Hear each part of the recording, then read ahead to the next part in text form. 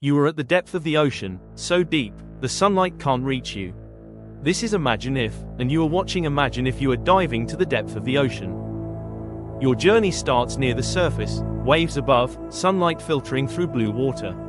Coral reefs surround you, schools of fish flash past. But soon, the blue starts to fade. You pass 200 meters.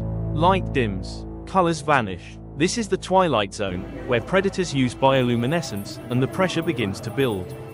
At 1000 meters, it's total darkness. This is the midnight zone. Here, life is alien. Fish with huge jaws, glowing lures, and bodies built to survive crushing depths. The pressure here is 100 times greater than on the surface. If your submersible cracked, your body would be crushed in an instant. Still, deeper you go. Welcome to the Hadal Zone. Only 0.01% of the ocean lies this deep. Even robotic probes struggle here.